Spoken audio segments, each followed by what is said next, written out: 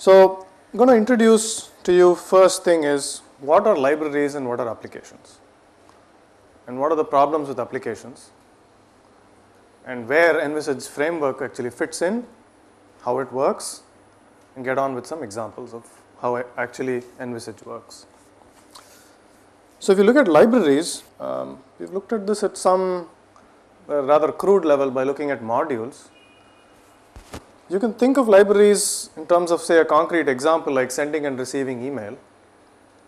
You could libraries are basically designed to perform particular tasks and they are typically made so that a developer can use it. So, it typically defines what's called an API which is an application programmer interface which developers use. So, if you remember yesterday we looked at factorial. So, we had a header file which said fact.h which had a definition for uh, the factorial function. So, if you have a set of things like that like traits for example, you have an API, you have a certain way by which you can use a particular library. So, developers use this API, these set of functions or classes and put things together in order to build either other libraries or write applications with it. Now, this is an extremely good way to make to, to do code reuse. You build libraries and people use your libraries. Good examples would be things like NumPy, traits, SciPy, various other things. Matplotlib is a library. On the other hand, you have applications which don't require you to write code and they're typically designed for the end user.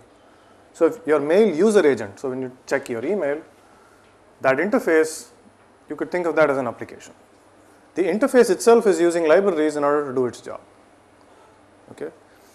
So, typically you, you use end users, could be both developers and um, non-developers, use applications.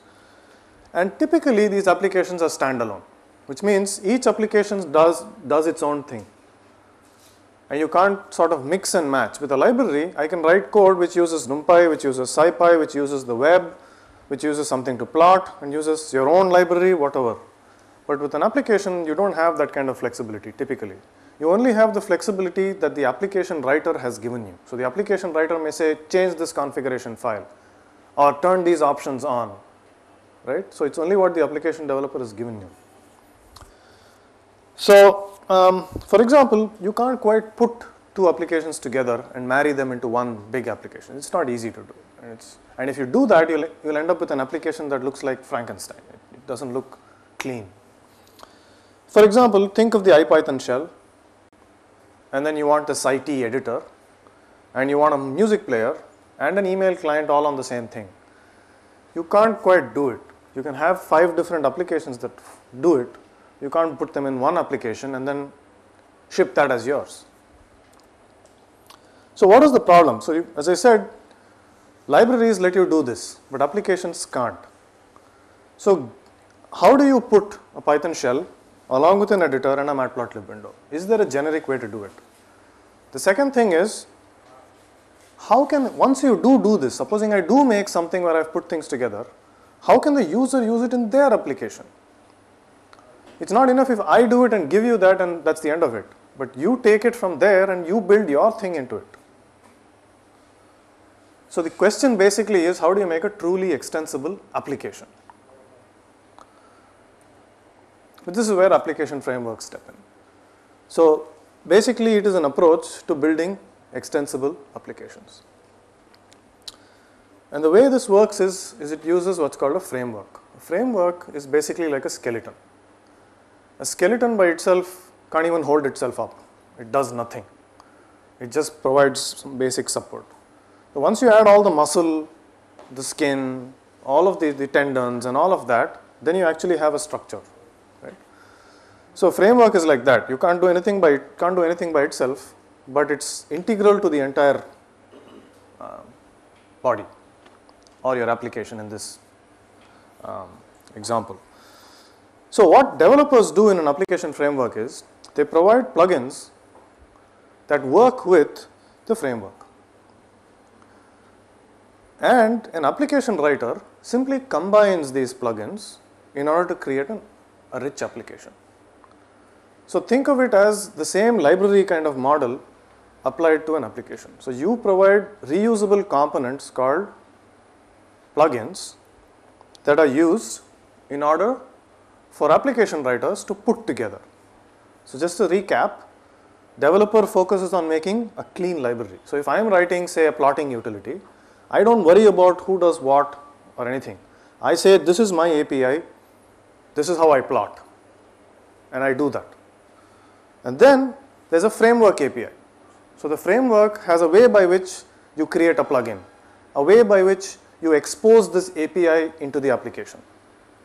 So the guy who's going to write the plugin uses the framework API, talks to the library underneath and exposes a plugin which can be inserted into your application. So the plugin writer exposes the library or the objects associated with that library into the framework. And the application writer then uses these plugins, combines them and generates an application. And now the application writer could be you because it's just Python code. You could then take each of these plugins and say, hey, I don't like this plugin, I want the other plugin instead.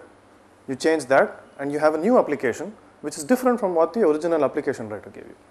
So it's an extensible way by which you can do two things. You can contribute your own code into it. and You can change the, the, the existing behavior. You can remove plugins and add plugins. So this is the general central idea of an application framework and this is how it basically looks. So think of something like you have a matplotlib library, you have tvtk, we will discuss that later, and let's say you have a wx python shell, you have a code editor, something where you can edit code, and I want to put this together in an application. So someone, a plugin writer, who knows how to use matplotlib and who also knows the framework API on the right side, basically writes a plugin that connects your library to the application and exposes that in the application in a reusable manner and that's it. So now the application writer just says, hey, I'm going to use the MPL plugin, the TVTK plugin, the shell plugin and the editor plugin. And then you have an application that does all of these four things. So if now somebody chooses to say, I'm going to write a mail user client and he creates a plugin for it. Now I can put this together. If somebody wants to write a music player and it's a plugin, I can just take that plugin, write that two lines or five lines of code and say I want this particular set of plugins, you're done. You end up with that particular plugin. Well, it's not as easy as I make it sound. There are certain issues that you have to be worried about. For example, um, things like you have to make sure that this plugin doesn't go and ruin another plugin. So certain things you have to worry about. But as always, you can see that this allows for a framework or for a basis on top of which you can build reusable applications. Okay, so you can you can see that, and there are obvious problems that you can always work around as a programmer. But this is the general idea. So is that is that clear?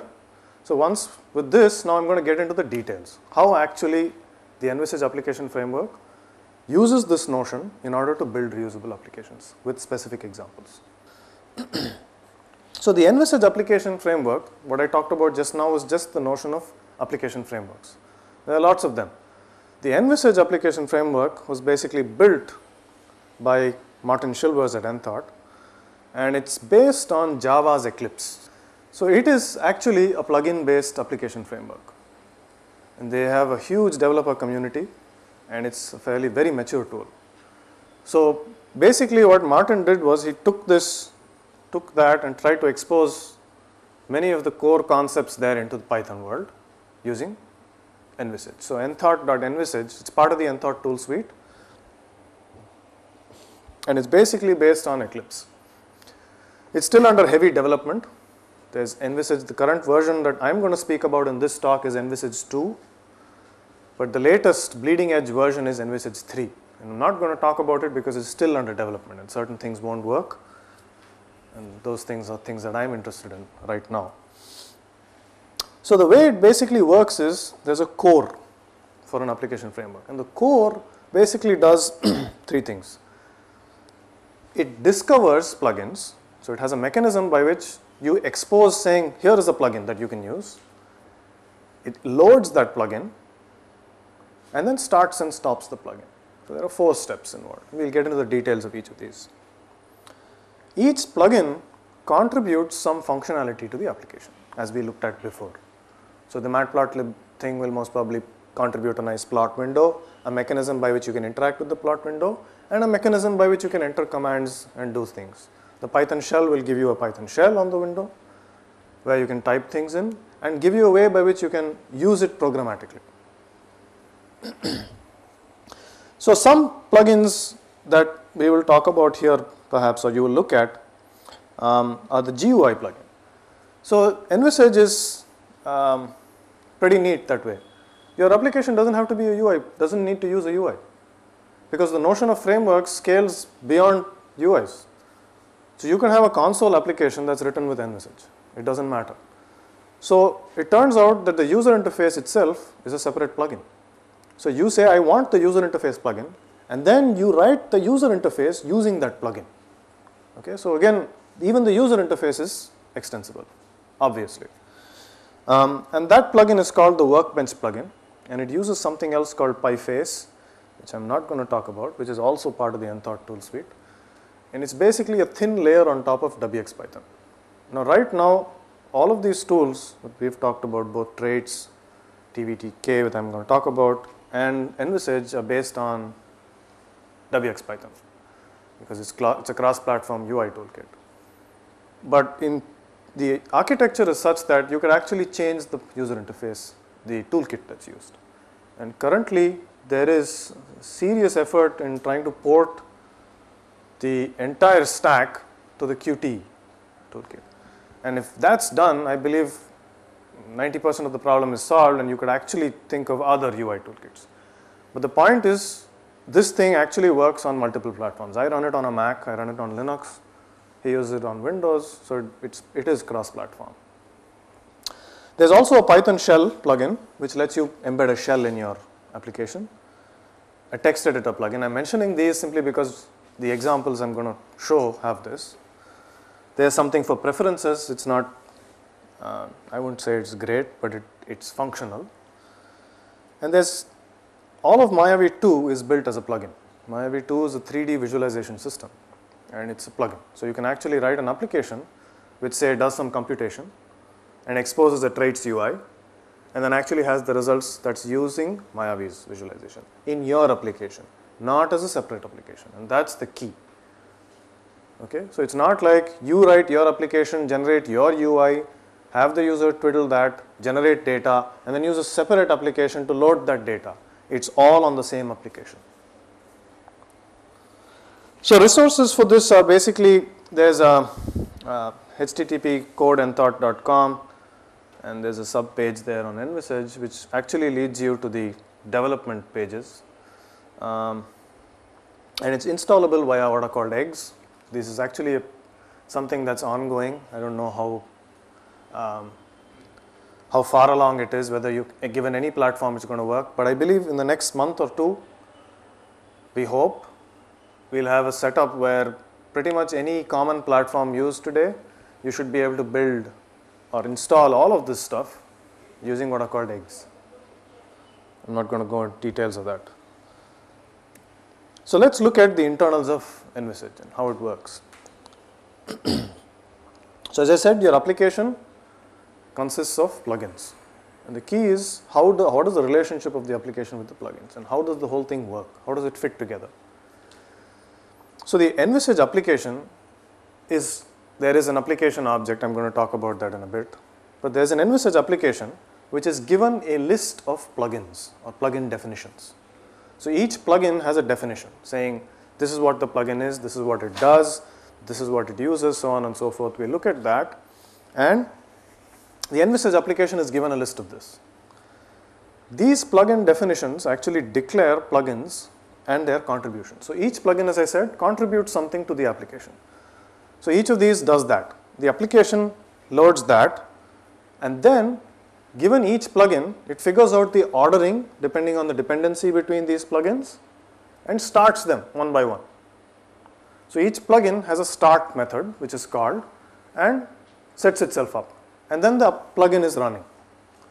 So then it starts up all of these plugins and then you have your application running. And then when you shut it down, it closes down all of these plugins. So it's as it's that's about it. Now the question is how do you do communication between these plugins? So all of this is very nice. You have plugins, you have an application. So what how do you actually connect these? And that's where the hard part is.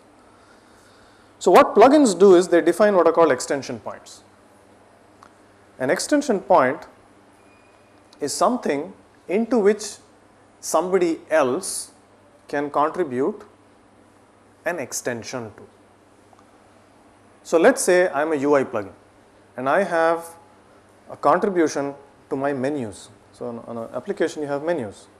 So I want different plugin writers to be able to create different menus. So let's say I want to save to a text file. I want a plugin. I want, I want my plugin to be able to do that. So you can request or you can contribute an extension of the menu to the user interface plugin, UI plugin, workbench plugin, saying I want this menu here. Okay, so this is a mechanism by which you communicate from one plugin to the other. And this is through what are called extension points. Okay. The other way, which is also extremely important, is through what are called application objects. So supposing you have say an application, you have an application which generates some data or you have um, some computation, something that's actually doing compute. You have a solver of some sorts or uh, you have a simulator of some sorts. Now you wrap that simulator, let's say you have a traits based class and that simulator has a view which basically says this is how the user is going to inter interact with me. And now your whole application hinges around this simulation right? Let's say you have, you have a solver, you have something where you're doing flow past some body. So you have this simulation engine and then you want to start that in simulation engine. You want to create that object and be able to use it. So the way you do that is in the application you expose that simulation object into the application by using what's called an application object. So you basically say application object here is a class create it here is the view I want you to see and then use the view to do something else. Let's say you want to see a UI on the screen. We'll go, we'll go over an example. But now the idea is this application object will now be given an ID which is basically a string. Think of it as a URL. Okay. In, in, in, in Envisage speak they are called UOLs, Universal Object Locators. And you can actually create an object and give it a universal object locator and you have access to this object that you've created. So you have a simulation object. So let's say you have a visualization thing and you have a simulation thing. So this has a UOL, the other has a UOL. And now once you said both plugins are there, this guy can call that UOL, get the object and script and use that object just like Python, normal Python. So the way by which you do this is to use application objects. So you expose objects from your plugin into the application using application objects. So let's go into a little more detail. I'll summarize this in the end again, so it takes a little getting used to. But I'll go into the details. So the application is basically an instance of enthought.envisage API.application. So it's basic, it's a class which has traits. All of this stuff uses traits. It's pervasive right through Envisage. It's built on the notion of traits, on the notion of the fact that you can do all of this with traits. And when I said you're given a list of plugin definitions, it's basically a list of file names. So you say here's a file name which specifies this plugin definition, which actually declaratively writes out saying this is this plugin, it does this. We'll look at an example soon. Now the plugin definition itself imports what's called a plugin definition instance uh, class and instantiates it and gives it all the details. and this basically specifies the plugin. I'll show you an example. Just keep this in mind that the application is there.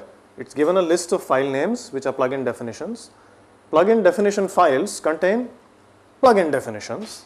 This is a problem with object oriented programming. You have a plugin definition class and then you have an instance called plugin definition. So just bear with me on that. So you basically have plugin definition files which declare plugins using the notion using an instance of a plugin definition.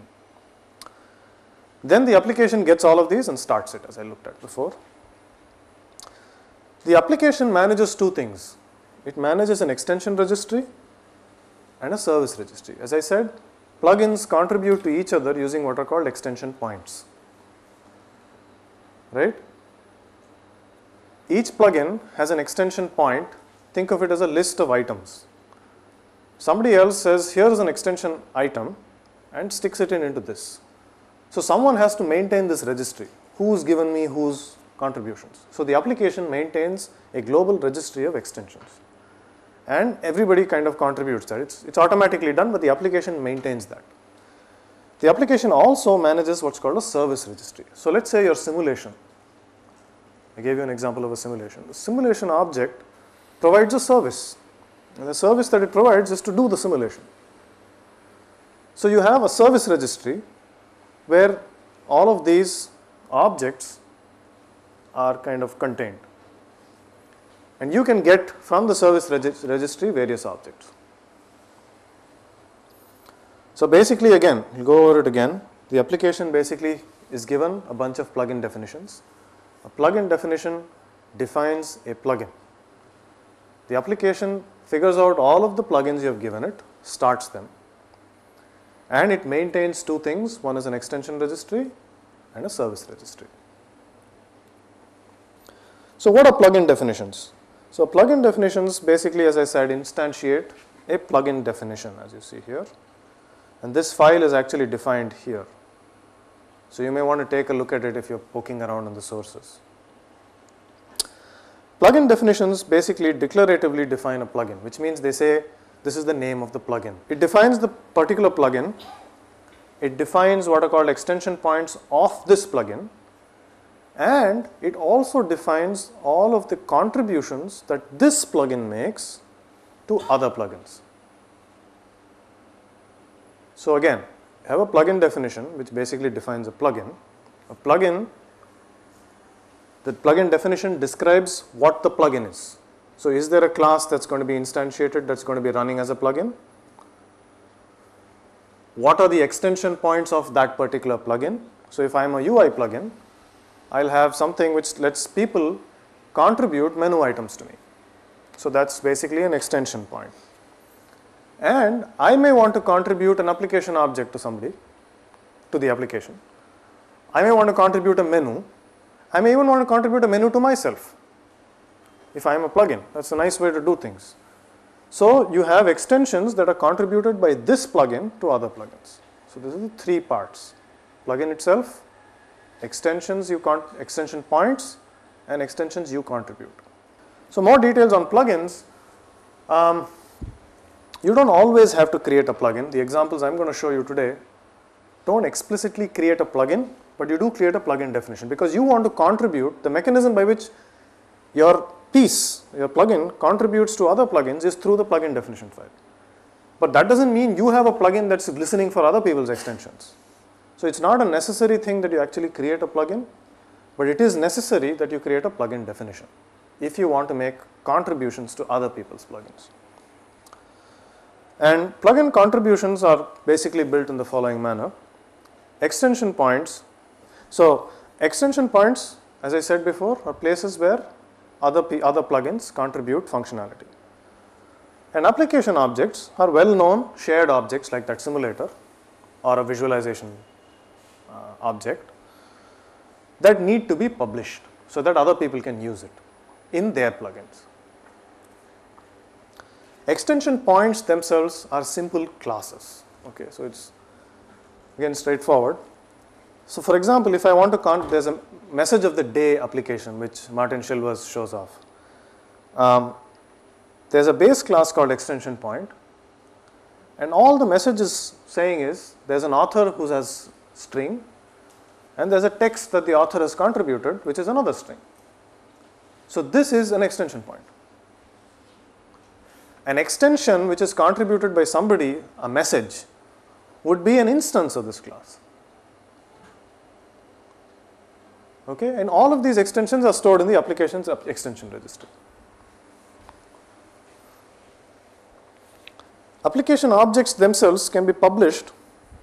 So we have done extensions now. So we basically have application, plugin definitions, plugin definitions declare plugin, contributions, extension points of a particular plug plugin, extensions made to other plugins. That's done. The other point is I have that simulation object and I want to expose the simulation object into the application. How do I do that? So the way you do it is if you have the application, you can publish an application object using this API or you can do it declaratively and we'll look at that in a short while.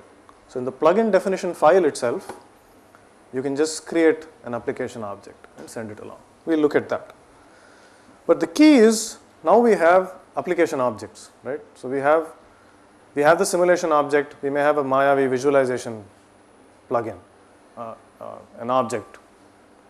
And these two application objects need to talk to each other. So let's say now I have a simulation, I'm going to write my um, code which is going to integrate the simulation along with the visualization, let's say. So I need to get access to the simulator and I need to get access to the visualizer. So the way you need it, now you need some way by which I can access it. So just like you remember URLs, in Envisage you define what's called universal object locators, UOLs for short. These are used like URLs to basically specify objects. So you can support various types of protocols. These are all strings. Okay. So you can say name, which means it will be going and asking in the naming service.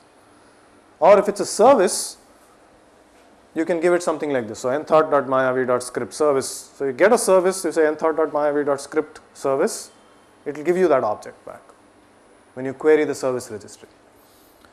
So you have an Envisage application because if there are lots of concepts here, I'm going to just repeat it so you get some idea of how it works. A plugin basically contributes something to the application as you can see here. So you have the Envisage application. The application manages an extension registry and a service registry. Plugins contribute extensions and these guys internally handle extension points. So a plugin will ask the application saying, is there any contribution from anybody to an extension point? Fetch all of those, generate the menus and things like that. Okay? So there's two-way communication between the plugin and extension registry. The plugin will contribute extensions to other guys and fetch extensions from the extension registry in order to do its own work. The plugin will also contribute application objects like the simulator or the visualization. And now you have an application. And now you can go in and add your plugin which actually says which sits somewhere in between these two and makes two of the application objects talk to each other. So it's Python, so you can do pretty much anything you want there. So this is the model. So there are a few plugins that I'm going to just run run by. Um, you have a core plugin, which is uh, which is the core plugin in all Envisage applications. This plugin has the following extension points. So if you talk about an, a plugin at any point of time, you need to just describe two things about it. What are its extension points to which you can contribute and what are the application objects the plugin contributes. Okay. So the extension points the core plugin has is something called a type manager which I am not covering here because I have very little experience with the type manager. I have used most of the other things though. There is something called a runnable. Sometimes once all the plugins have started, you want to do something. So when plugins are starting, it's not a good idea to be doing something with the plugins. You want to wait till everything is started. Now I want to do something. So runnables are extension points to which plugins can contribute runnables. So you create a class which has a run method and say, here is a runnable. Please call this run method when all the plugins have started. Envisage will do that for you. So this is the mechanism by which you do that and that's a runnable. It also has two application objects that it provides. One is a type manager, the other is the naming service. Naming service is like what are called white pages.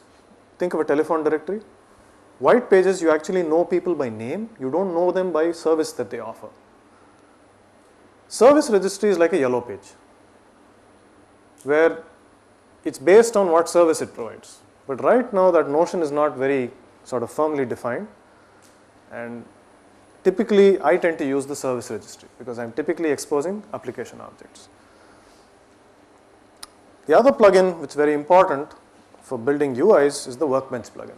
So the Workbench plugin actually provides the user interface. The entire user interface of applications using uh, Envisage are built using the Workbench. The extension points it contributes are typical user interface things like branding. So branding is, so what is an extension point? It's a class. It's a class that has traits. The message has an author, which is a string, text, which is a string. So you could make it slightly more, you can make it far more complicated, okay, because it's just another class. And people instantiate these classes in order to expose, to, to create extensions to extension points, okay. So branding is something like an about dialog. So you click on about, it will show you the message. Obviously, if you are writing your application, you want to create a branding thing. So you want to say it's my application, not somebody else's application. A view where you want to add your views to the user interface. And views are nothing but traits views. Easiest way to expose a view is to make it a traits object. Have the traits view. Eric showed you examples of configure traits, edit traits, which actually pop up a user interface. Each of these has a name. You can actually create a bunch of views and you can say I want this view to be exposed on this application. You can do that. Um, it also has something called perspective which basically represent a user configurable set of views. So you can say I want the editor here, I want the Python shell here, I want this editor over there and it will basically save out all that and let you specify that declaratively. So that's called a perspective. So it's another extension point that you can contribute to. The workbench itself which basically manages the views and the perspectives. That's the workbench. The workbench manages views and the perspectives specified. And then of course actions. So you click on a toolbar item, you want something to be done. So there's an action contribution that you can make. Same way menu bars. They just, they invoke action. So you say I want a menu here in file, this, which actually invokes this particular action and you say that out. You lay that out and it's done. It creates two application objects called the workbench and the workbench UI. So I'm not going to go into the details of those. You seldom need them actually. Sometimes you do, but most often you don't. Here's an application which is Mayavi 2 and this is how it looks typically. So there are a bunch of menus standing out here. Each of these is an action. So when you invoke a menu, it's going to actually call something, do some functionality. Open a file, it's a menu and that will have some detail about which function to call. It will call the function for you and do the job. The whole thing put together is called a workbench window. What you see here is an editor. In this particular case, it's a scene editor. So it lets you view a particular visualization. On the left, you have various views. The view on the right, right's bottom here is a Python shell.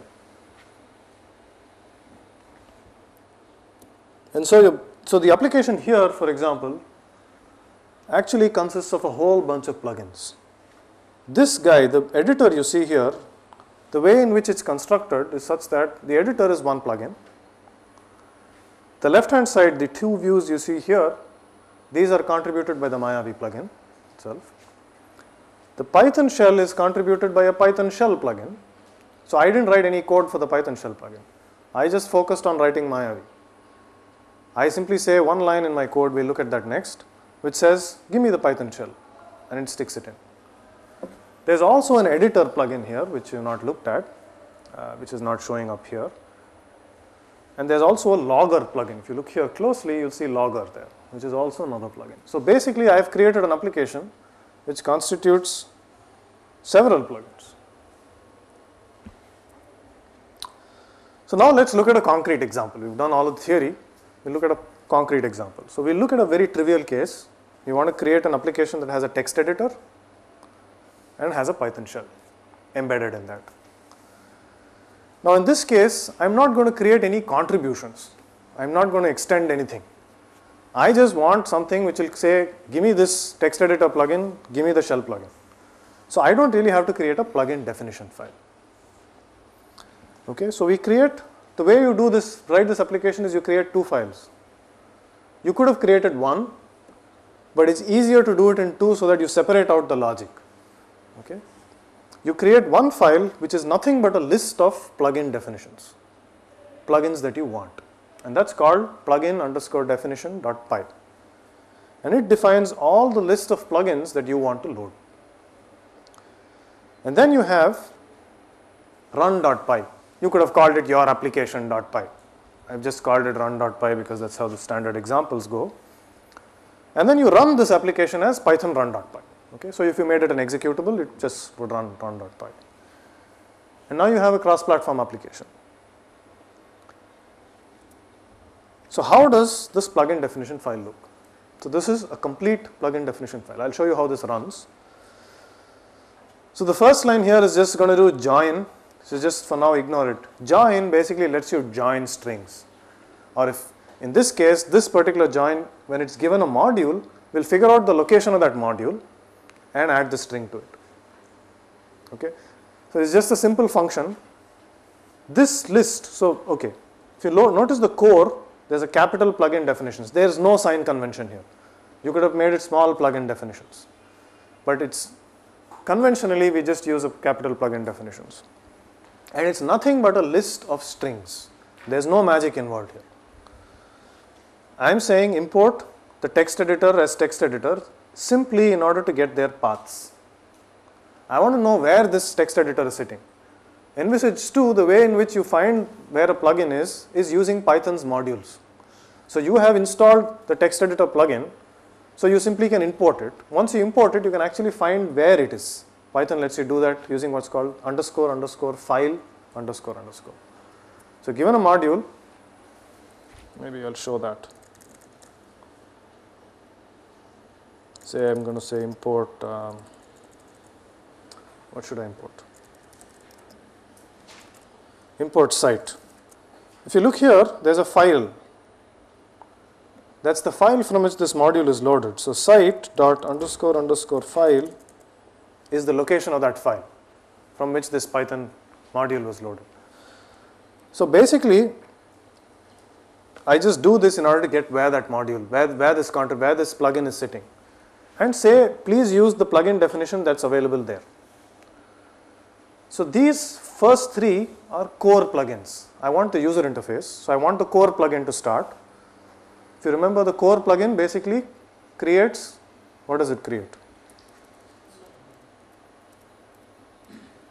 oops, creates extension points for type manager, runnable and creates the naming service. But it's good to have the core plugin running. I want to create the text editor and the Python shell are going to create menus. So you need actions. So you start up the action and the resource plugin may not be necessary. The UI itself is got by the workbench plugin. Remember we had the workbench plugin to which you're going to contribute menus and things and the workbench action for the menu actions. And then comes your critical code which is the Python shell and the text editor. That's it. The next file is the run.py which basically imports the application and imports the plugin definitions from your plugin definitions file. Is that clear? The previous one we just created this plugin definitions and this guy is just going to import that. And now I create a simple main function which starts up the UI. Now as I said PyFace is something which abstracts out starting up a user the GUI. When you do user when you create user interfaces you have what's called a main loop of execution for that uh, an event it processes event loops in that user interface. So just ignore this for now think of it as some kind of boilerplate, just creating a user interface, making it, setting things up so that the user interface can be created. Now I am just instantiating the application and as we said before, the application is passed a list of plugin definitions. Here is that list. Okay, and then I say application.start, GUI start event loop, and when I say start event loop, the user interface is going to block. because it's going to start doing interacting with the user. So when you click application exit, the user interface shuts down and this function call returns. And then it says shut down the application. Okay, so this is typically the structure of any UI application that you are ever going to write. Okay, so this is not very different from that. So now how does this run?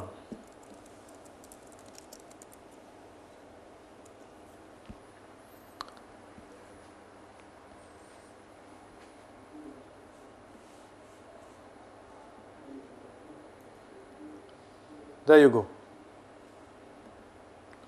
So here is the application with a Python shell. Oh my gosh.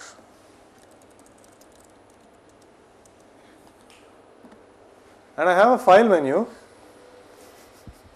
where I can say open file, there are some bugs on the Mac.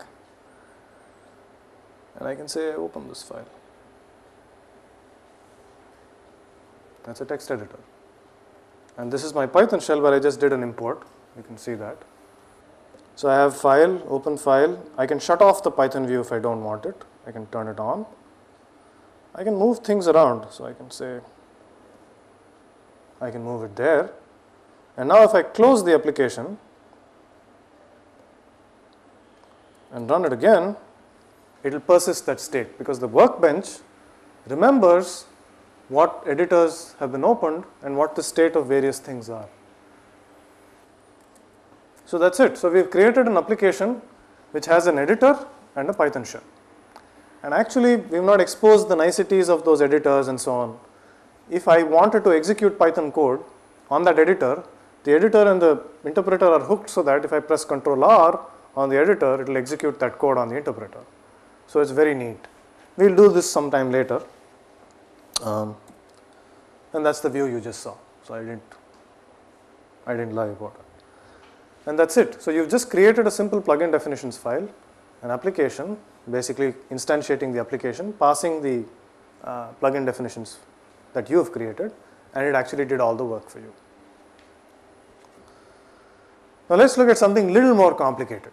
So this is very trivial, not done anything. So now we look at actually adding a plugin definition file. We want to now create some object that I want to contribute into this application. So let's say we want to expose an object that we have created. So consider some dummy class that I have created. You can actually create some pretty sophisticated stuff, which is subclass from HasTraits. So this is a simple object. I import stuff from traits, the trait HasTraits class, a range and a string, and um, some things related to the view of a traits object. But basically if you look at this, it's very declarative. All you're saying is a name defaults to tycoon. Um, there's a range of his age 0 to 150 and his particular age is 40, the default. His address is something and this guy over here just exposes this view to the user interface. So if you just create this simple object, so maybe I'll do that.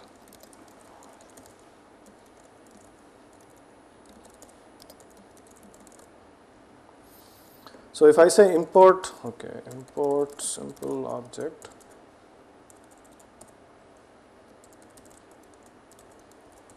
That's the code, just to show you it's not doing anything special. Uh, simple object.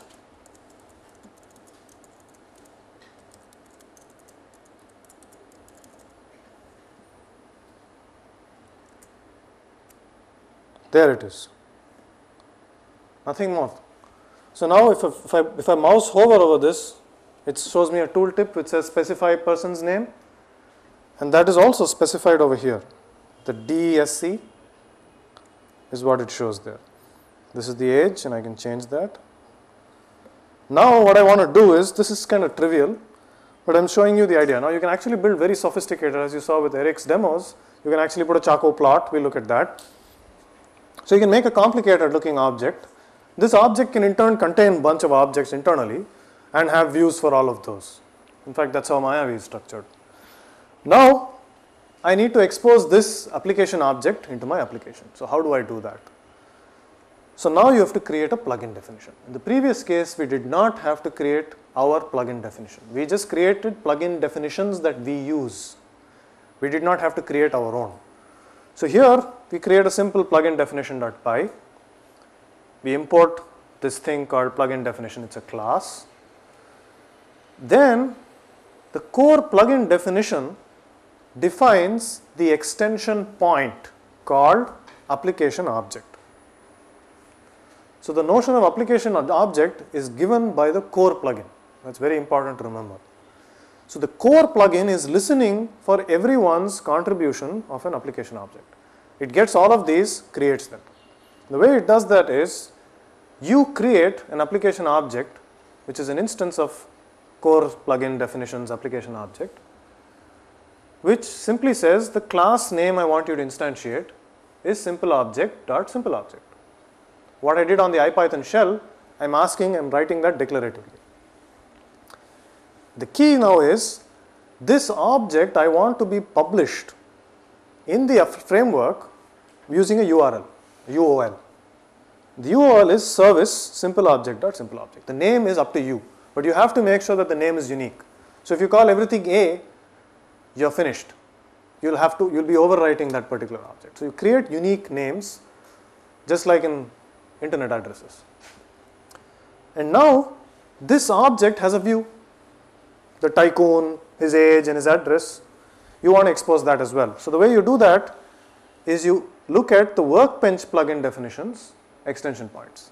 And there's an extension point as we looked at earlier called view. The view basically says this is the name of that view, this is its ID, so you can refer to it later and it can be persisted. That's, that's the mechanism by which when you move that window around, that view, it actually persists it. The UOL of this um, particular object, why is this important? Because when you specify a view, it has no way of knowing which object's view you want. When you say this is the UOL to use, it looks at the service registry and then grabs the object. Is that clear? All I have done here is I say create an application object and look at the view of this. The view is declared here. Use this view, place this UI on the left. That's the default placement. Now you change it, it's going to persist it as we saw. But the default placement when you start up the first time will be on the left. The only thing you need to do is to create a workbench which keeps all these views. Remember the workbench manages two things, views and perspectives. We have not created a perspective here, but we have created a view. Finally, you specify the plugin definition itself. So as I said, the plugin definition is what actually contributes all of these extension points, these extensions and the actual plugin to start to the application. So plugin definition goes like this. It has an ID, it has a name, a version, provider, URL. So this is just information. So if somebody wants a plugin and I want to say, where is this plugin? Who's the developer who made this lousy plugin or whatever? It's there. I'm not going to talk about these two. This is the requires. So this plugin requires the workbench plugin. In Envisage 3, I think this is completely eliminated because Envisage 3 uses eggs entirely, but forget about that. In Envisage 2 and all the examples today, you need to specify requires. What this basically says is, as we remember, the application starts plugins. Now each plugin has to be started in the right order because if I need another plugin and I'm contributing something to it, so to it, if that has not yet been started, I'm in trouble. So when you say requires, Envisage looks at the requirements and make sure it starts everything in the right sequence. So all that's doing is this. Our plugin does not create any new extension points to which somebody else can contribute. But we are contributing two things. What are they? The workbench and the application object, which is that view. So I'll recap this. This plugin definition basically declaratively says, I want Envisage to start up this application object that's defined here to take its view and stick it on the workbench. That's basically what you're saying here. Two more changes you need because I'm building this on the old application. The ID of your new application you want to change because it's not the same as the old application. So I just changed that to simple app 1 from the original simple app. And in my plugin definitions.py, I change one line, I add this last line over here, which is the plugin definition that I created. Is that clear? So what have we done? We had a simple application that creates a text editor and a Python shell and shows that as an application. Now we've added, we want to add a view. So we first create an object that has this view and obviously in, in a real situation that object is going to do what you want to do. So it's something that's useful and meaningful, not like the one we have here. This object has a view that you want to stick into envisage. If it did not have a view, you would not need this workbench stuff. You would simply say extensions equals simple app object, okay, which is simply this application object. And all envisage will do is it will create that instance and stick it in the service registry. But now you don't want that. You want the view of that particular object. So the view basically lets you easily do that by saying get this service, show me its view on the left and you're contributing that through the plugin definition. And now you simply say I want the application to use my own plugin definition in addition to the other plugin definitions. That's it.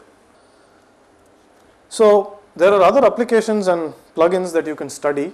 There's a Chaco plugin example. So would you like to see that? Okay. So there are two, there are three examples. Um, one is Chaco plugin, which is nothing but the same simple object you saw here, very similar to that. Instead of having a silly tycoon address person kind of thing, it actually exposes a Chaco plot, which you can actually configure and play with. The second one is a Mayavi Explorer 3D example. I have not talked about Mayavi at all, but Mayavi is another plugin. And it has two modes. There is an application called Mayavi 2 and there is the plugin which it actually uses underneath. The plugin basically lets you do the stuff I am going to show you now. The actual details of that plugin and the application we will look at subsequently. But just to show you, okay.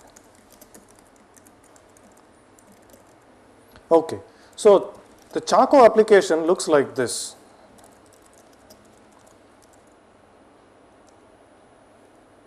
Oops. Okay, is that visible? So we have on the top the same kind of stuff, plugin definition, envisage core, core plugin, application object. So what am I going to do here? I'm going to create an application which I will show you here. It's bad code, but not had the chance to fix that.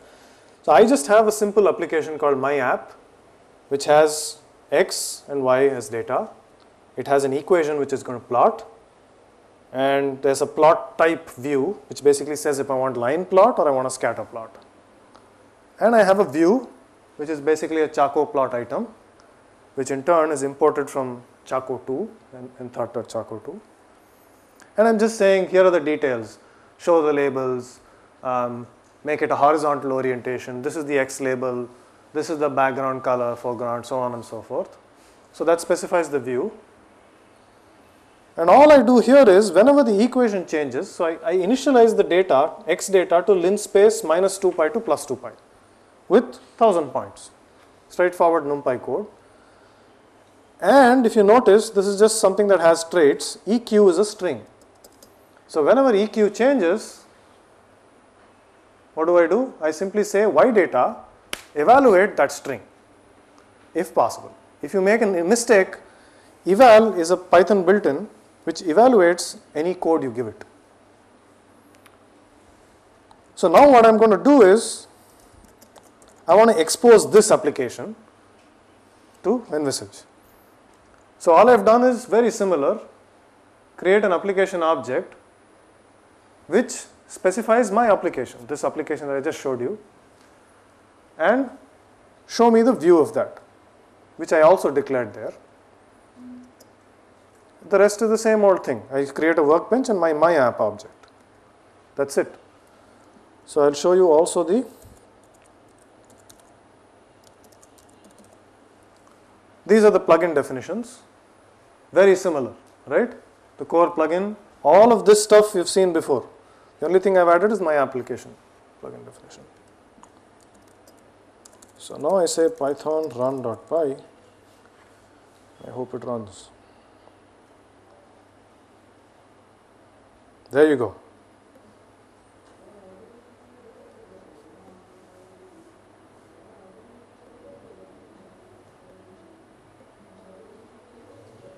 Oops.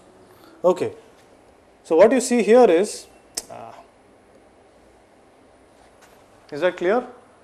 So I just, the default plot is sine 5x by x. So does anybody have suggestions, something else to plot?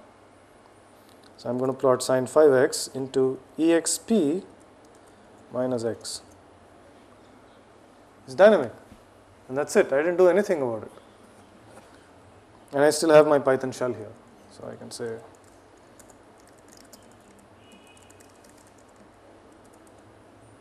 I could import something, do something else. If I want to change the scatter, it changes it.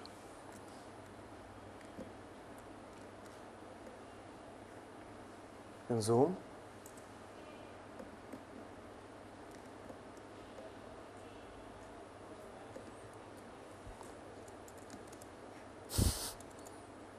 Okay.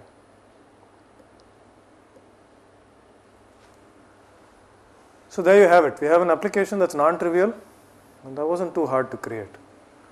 And if you notice, I don't have an open file here, but if I go on, on open a file, uh, let's see, there it is. So I have code here. If I wanted to run this, I could run it.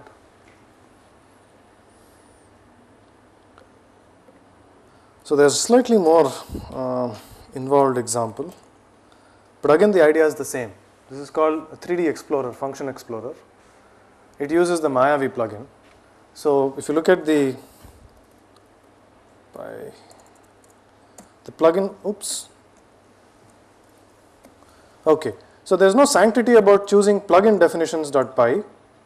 In this case, I say it's Explorer plugin definitions.py. Oh man.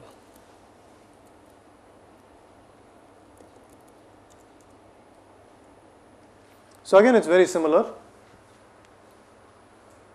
Views, in this case I've created a perspective. Okay. And that's about it. It's the same same kind of structure that you see over here.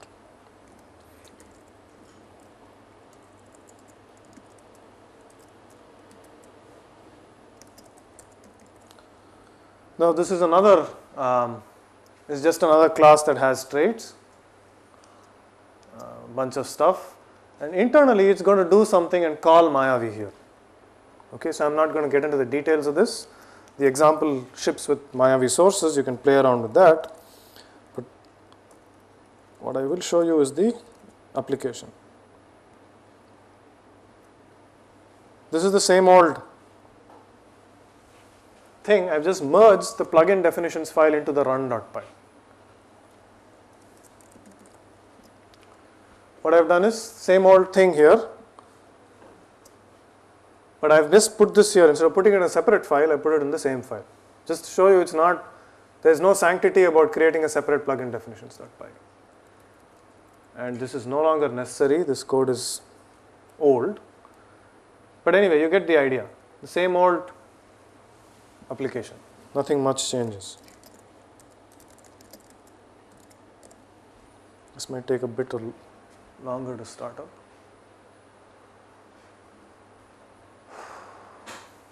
So what this does is, just like Chaco did a 2D plot, this is going to do a 3D plot. So it takes a block of, uh, 3D block of array,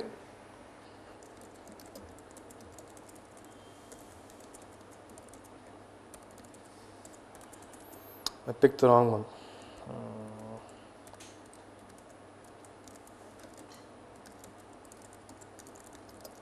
Same thing, very slight changes inside because there was a there was a change in the way Enthought packaged its tools and this I hope runs.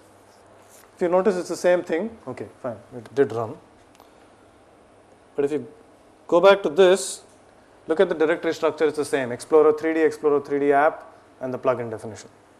So this is the UI I have. This is Mayavi in action. It's a full 3D view. I can interact with the data. And then I can do stuff here. So I can say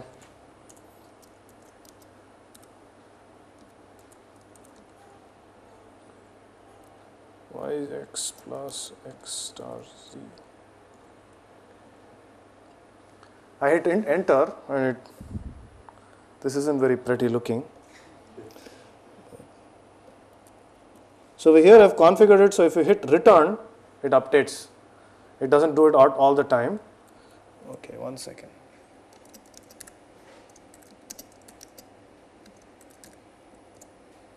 Yes, I did something different and it's actually updated an entire 3D numeric array block. And the beauty of this is because of the way TVTK is built, it's just using the NumPy stuff. So I just evaluate this, generate a block, pass it off to VT, uh, Mayavi and it visualizes it.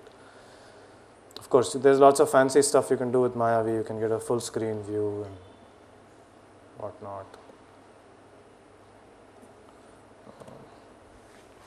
And you can change you can change the size of your block. And the Mayavi plugin is running.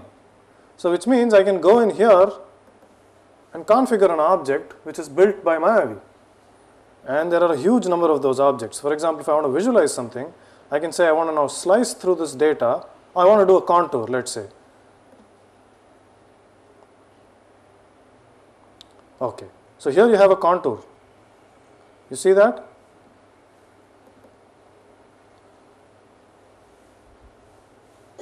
So I'm going to configure it over here.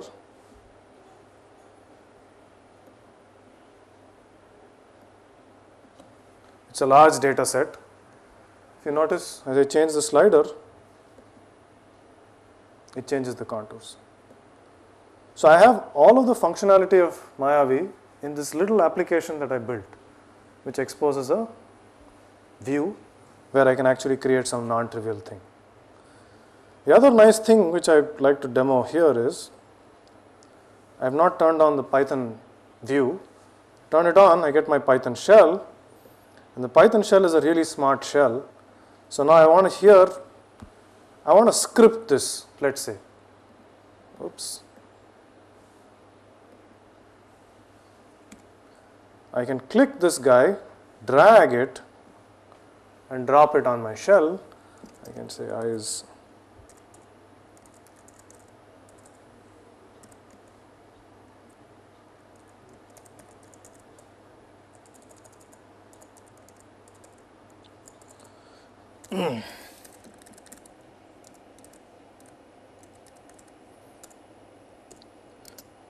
So let's say I want to say what is the current contour level? Some obscene number. Okay. So I make it half. Oh man.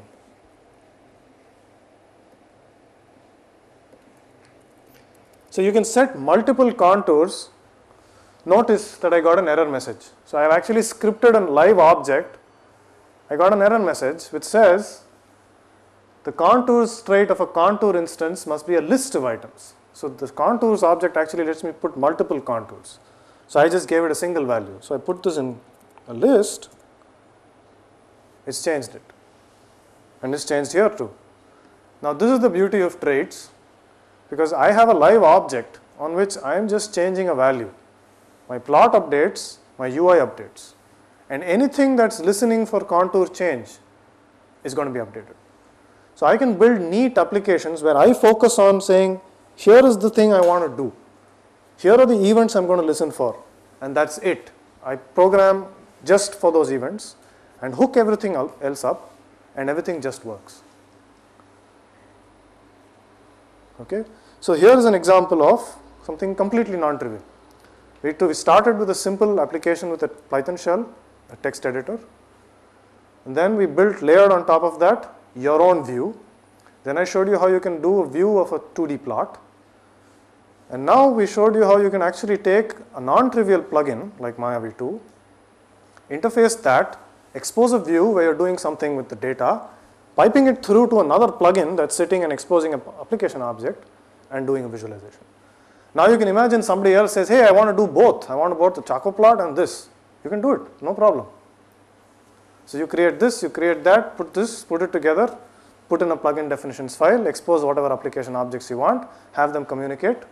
And now you have URLs. So if you want to, if you want to click on a button and say, take this slice plotted with Chaco, you set up something so that you, when you click that, it calls the URL, gets the application, asks it for its service, which is the Mayavi or whatever, gets the data, plots it, your set. So here is a very powerful way by which you can build very neat applications. So in summary, what we looked at, we started with basics of applications, libraries, what the difference is, what is the problem. We looked at how application frameworks solved this problem. And then we looked at Envisage, a framework which lets us do this. And then I went over Envisage details. Um, it's kind of boring, but important. Then we looked at a simple example and went on to build a pretty non-trivial but pretty looking example.